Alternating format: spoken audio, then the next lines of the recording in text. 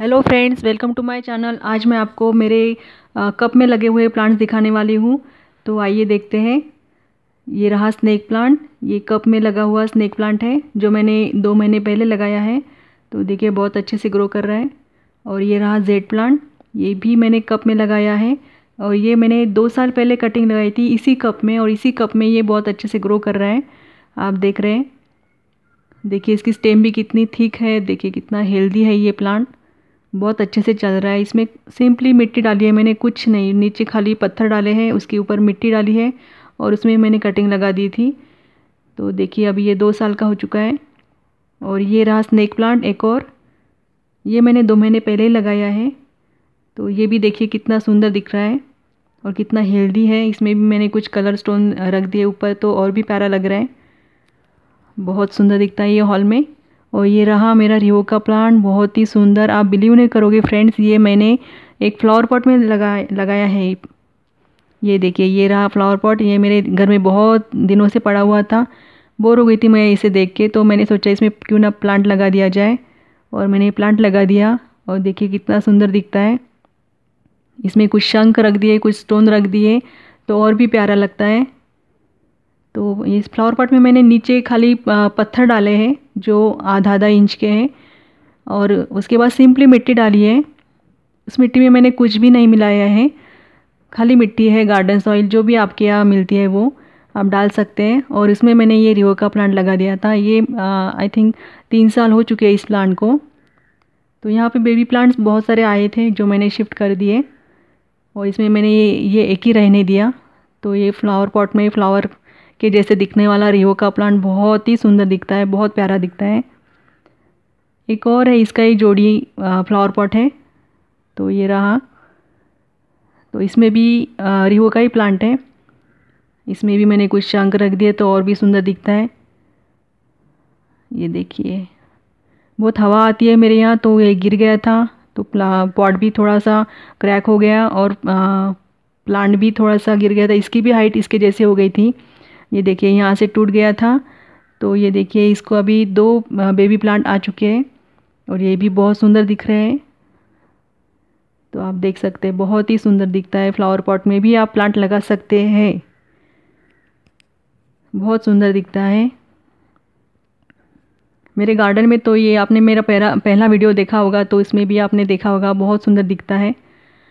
और एक है ये रहा चेन प्लांट, ये भी मैंने कप में लगा दिया है, ये भी फ्लावर के जैसा दिखता है, ये देखिए, ग्रीन कलर का फ्लावर है, ऐसे लग रहा है। ये भी मैंने कप में लगाया है, इसमें भी मैंने नीचे खाली पत्थर डाले हैं। थोड़े पत्थर आपको बड़े साइज़ के लेना है, आधा या एक इंच के। उसके बाद सिंपली मिट्टी डालिए, मिट्टी में मिट्टी में ही ये प्लांट लगाया हुआ है, मिट्टी में मैंने कुछ भी मिक्स नहीं किया है। और देखिए, इसके रूट्स भी बाहर आने लगे और देखिए कितना सुंदर दिखता है, छोटे से प्लांट पॉट में। बहुत ही सुंदर दिखता है ये प्लांट तो आप भी इस तरह से लगा सकते हैं फ्रेंड्स कप में. एक और आ, है प्लांट जो मैंने चार साल पहले लगाया था वो है डिफेन बेकिया का प्लांट ये देखिए ये भी मैंने कप में लगाया है देखिए कितना हेल्दी और कितना बड़ा हो चुका है. ये चार साल का है प्लांट चार साल हो चुके हैं इस प्लांट को. ये भी कप में लगाया है. ये तो मैंने एक इंच की कटिंग लगाई थी और अब देखिए ये इतना बड़ा हो चुका है। एक कप में एक क्रैक आ गई थी तो मैंने इसमें प्लांट लगा दिया। नीचे भी उसी की तरह जैसे पत्थर रहा है, उसके बाद मैंने इसमें रेत डाली है। ये रेत में लगाया हुआ प्लांट है। तो आप इस तरह से लगा सकते हैं। देखिए कितना सुंदर दिखता है। इसकी हाइट भी अच्छे से अच्छी हो गई अभी। देखिए इसकी हाइट भी बहुत अच्छे से हो हो गई है अभी। बहुत अच्छा दिखता है ये मेरे डाइनिंग हॉल में बहुत सुंदर दिखता है। ये देखिए कितना हेल्दी है। तो आप बिगिनर्स हैं फ्रेंड्स तो आप इस तरह से प्लांट्स लगा सकते हैं। ये बहुत अच्छा ऑप्शन है आपके लिए। एक और प्लांट है मेरा जो सबसे पुराना सबसे पहला प्लांट है जो मैंने कप में लगाया था। जब मैं गार्डनिंग ज़्यादा जा, जानती भी नहीं थी। तो मैंने अपने ही मन से कप में ये मनी प्लांट मैंने लगा दिया। नीचे मैंने कुछ पत्थर डाल दिए और उसमें मिट्टी डाल दी और उसमें छः सात इंच की कटिंग मैंने मनी प्लांट के लगा दी। तो ये मैंने, ये देखिए, बहुत ही सुंदर, कोई ड्रेनेज होल नहीं, कुछ नहीं, फिर भी ये प्लांट बहुत ही सुंदर ग्रो कर रहा है। देखिए, ये पाँच साल का हो चुका है। ये देखिए, ये मॉस्टिक भी मैंने खुद बनाई है। तो उसकी वजह से ये और भी अच्छे से ग्रो कर रहा है। देखिए कितना हेल्दी है। छोटे से कप में इसलिए ग्रोथ वैसे स्लो है, लेकिन फिर भी ये प्लांट बहुत सुंदर दिखता है मेरे डाइनिंग हॉल में। बहुत प्यारा, बहुत पसंद है मुझे ये प्लांट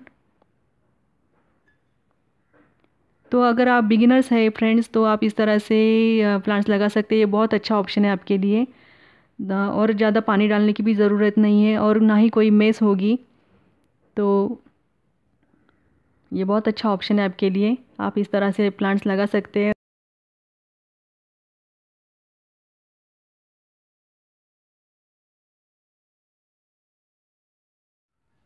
अगर आपको मेरे प्लांट्स मेरे आइडिया पसंद आते हैं तो प्लीज़ मेरे चैनल को सब्सक्राइब करें लाइक करें शेयर करें कमेंट्स करें। Thanks for watching